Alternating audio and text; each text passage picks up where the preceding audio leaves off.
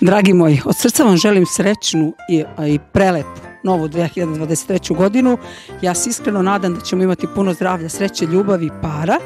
I naravno ćete slušati pjesmu Zaboravo još ga ne dam, da se posjetimo malo na te lepe neke čiste i iskrene emocije. Volim vas i ljubi vaš Anči.